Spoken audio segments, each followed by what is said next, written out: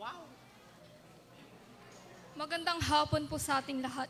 Ngayong hapon ay matutunghayan natin na may nag-iisang Diyos lamang. Ang pasimula ng Biblia, nilikha ng Diyos ang langit at lupa. Ipinakita niya kung gaano siya kadakila. Sa pamamagitan ng kanyang mga nilikha, ibiniti niya ang daigdig sa gitna ng kawalan. Sa lupa nagkaroon ng mga puno at halaman. Sa himpapawid, mga ibon na nagliliparan. Sa kalawakan na nandyan ang araw at ang buwan. Ngunit ang tao, hindi siya sinamba. Ang kanyang mga likha, ang kanilang sinasamba. Ang sabi ng Biblia, maliwanag na siya'y makilala. Sa pamamagitan ng kanyang likha, kaya wala nang silang may dadahilan pa.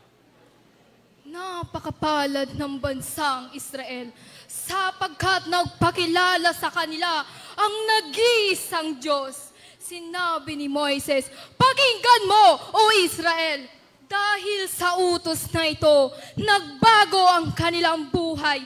Hindi na sila katulad ng ibang bansa sapagkat may nag-iisang Diyos na silang sinasamba. Ngunit isang nakakalungkot na katotohanan, ang tao ay sumasamba sa maraming Diyos at Diyos-Diyosan. Mayroong maliit, mayroong malaki, may maputi, may maitim, may payat at mataba. Mayroong ding mura at mahal. Mayroon ding cash at hulugan. Mga minamahal kong kapatid, palakpak naman dyan.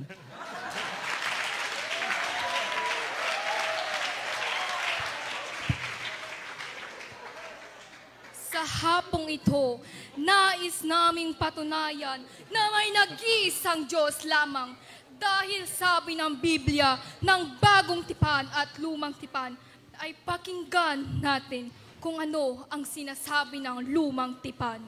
Sabi ni Propeta Isaiah, siya ang nag-iisang tagapagligtas. Nagbigay din siya ng propeseya na siya'y sisilang ng berhen na dalaga. At ito'y natupad sa libro ng Mateo 1, versikulo 21.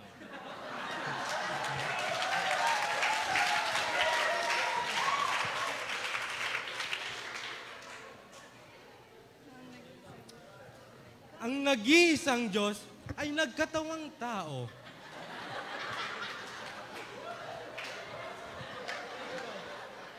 Hindi tamang paniwalaan na ang ama ay isugo niya ang kanyang anak para akuhin ang kasalanan ng sanlibutan pagkat ang ama ay gagawin ang lahat para sa kanyang anak.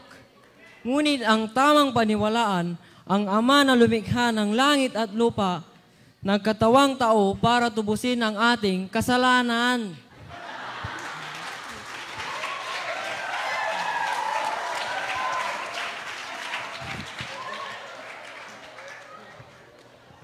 Malinaw na sinasabi ng Biblia na mabuti na may nag-iisang Diyos lamang.